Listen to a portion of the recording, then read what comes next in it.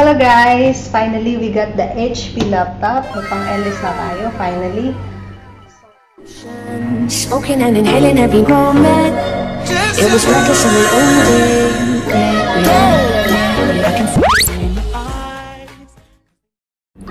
So guys, andito po tayo ngayon sa Lulu Ramly Mall. Pipili tayo ng laptop. Yung magandang specs pero mura lang. Yung pasok sa budget. So, kursunada ko tong HP kasi mura lang siya, maganda yung design, tsaka mataas yung speed. So, check natin dito yung mga laptop. Mahal dito banda. Okay, check pa tayo ng iba. Mas mahal dito banda. So, gusto natin yung mga price range lang na 150 to 200 price range. Yung hindi masakit sa bulsa. So, ito na guys. Ang napili ko yung HP. Hindi naman siya kamahalan. i3 siya. Pero, okay na to pang live streaming natin. So, ito yung gagamitin natin. So, bilhin na natin guys. Tara na!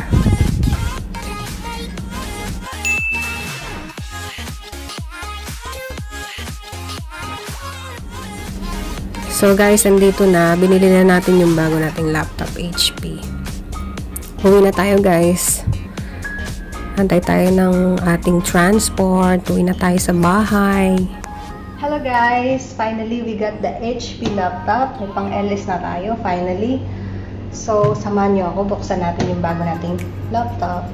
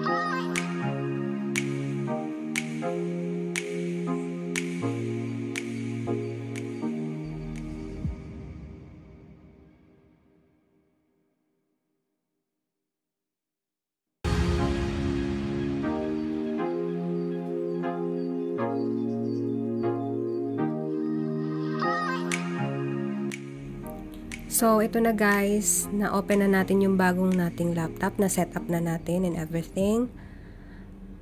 And then, magda-download tayo ng Chrome.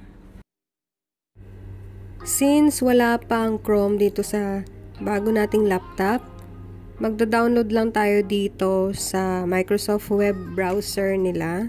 Mag-download lang tayo ng Chrome tsaka OBS. At pwede rin natin gamitin tong Bing browser para makapag-download ng OBS Studio. Ito na po siya. I-double click lang po natin siya. Tapos may makikita kayong tatlong option. Yung una, Windows, Apple, tsaka Linux. Since HP yung gamit natin, Windows tayo. Scroll down lang kayo sa baba, may makikita kayong download installer. Yan po yung i-click natin. Do double click lang po natin yung download installer.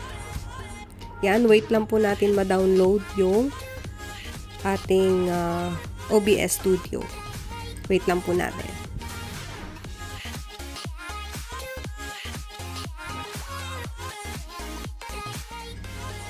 And while nagda-download kayo ng OBS Studio, may magpa-pop up po na ganito po siya.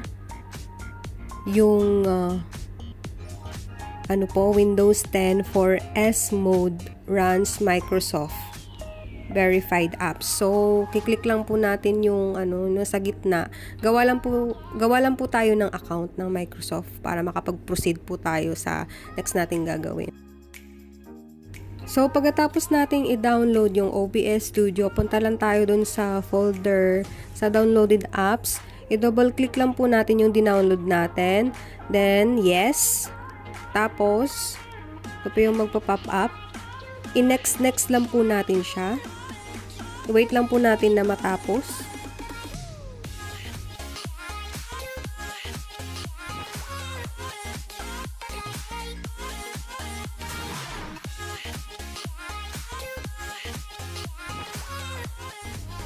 Then, click lang po natin yung finish guys. Tapos na siya. Tapos magpa-pop up na siya. Ito na yung itsura ng ating OBS Studio. So, ito na siya. Tapos click nyo lang yung yes. Tapos dalawang next, next, next. Tapos palitan nyo lang option doon sa service. Palitan nyo ng YouTube. Doon. Two days later. Ngayon, tuturuan ko kayo paano mag-set up ng live stream nyo gamit ang OBS Studio. Ngayon, i-open natin ngayon yung OBS Studio. Ayan, open natin.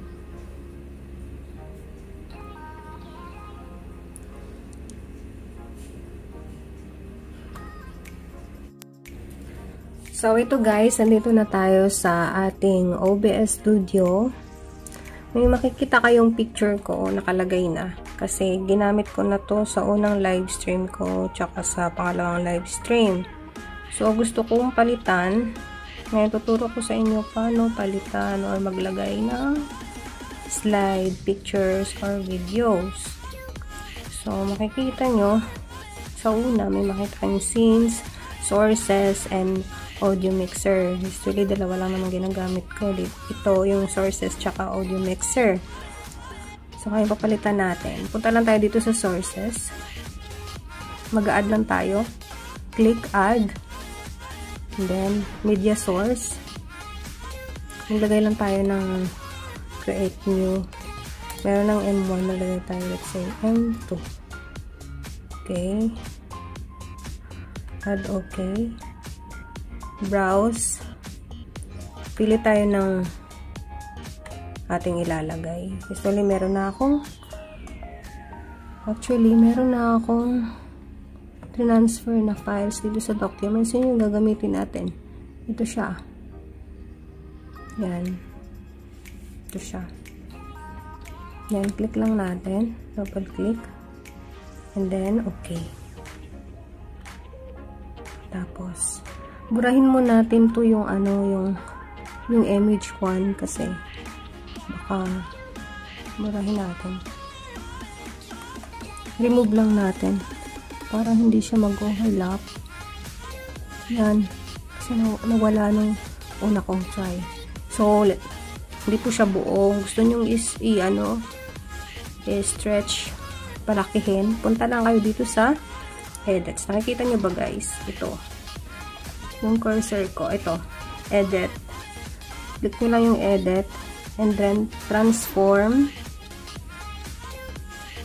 Yan. Fit to screen. Na nagbago ba siya? Hindi. Ulit. One more time, guys. Transform. Fit to screen. Ayun, nagbago siya. Pero may itim pa dito makikita sa gilid, ba? So, yung gagawin natin, punta ulit tayo. So, transform.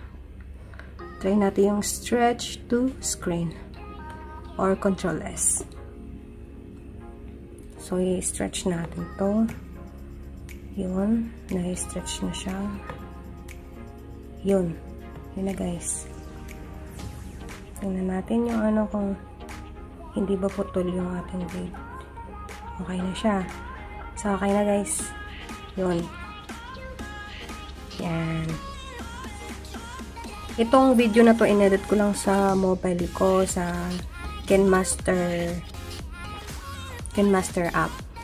Makikita nyo wala siyang watermark. May meron akong ginamit na application ng KenMaster na walang watermark. So, sa susunod kong tutorial, tuturo ko sa inyo kung anong ginagamit kong app at kung saan ko siya ina-download kasi hindi siya available sa Play Store.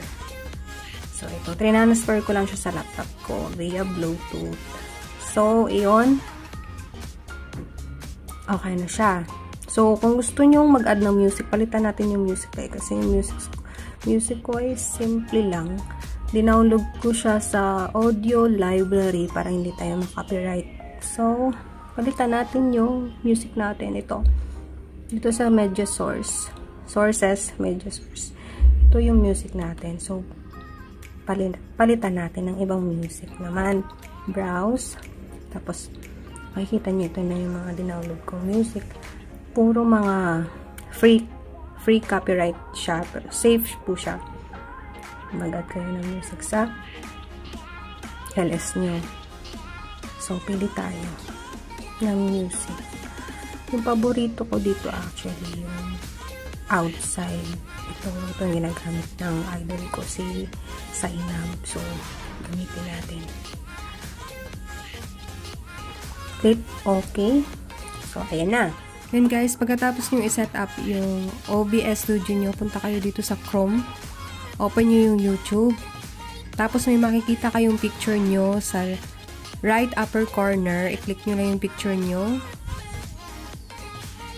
Tapos, pag-click nyo yung picture nyo, doon kayo pupunta sa YouTube Studio nyo.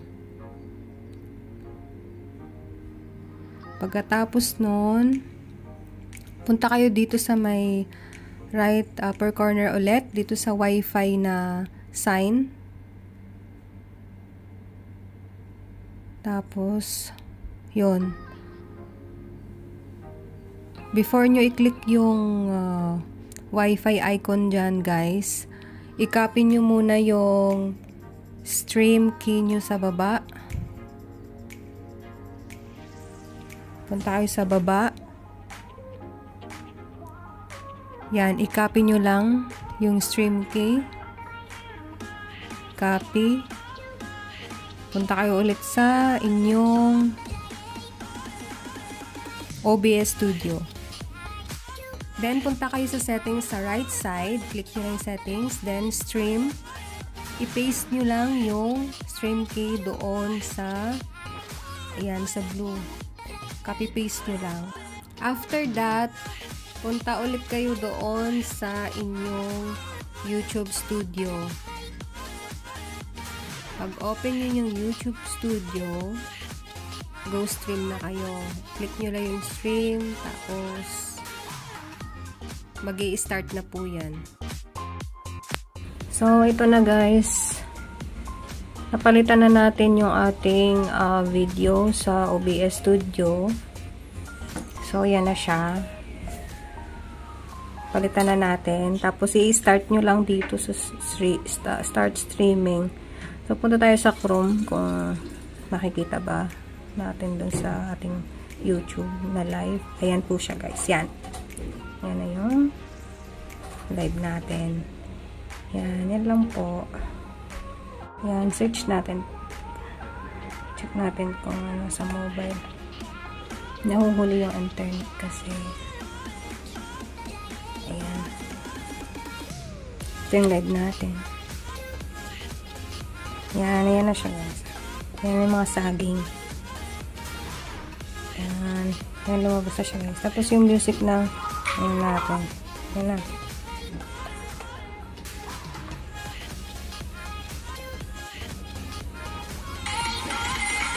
Yan. Diba? Ayan guys. Diyan na nagtatapos yung ating tutorial. So guys, Diyan na nagtatapos ang ating tutorial. So, see you next time sa bagong video na i-upload ko. See you sa ating next video guys. Bye!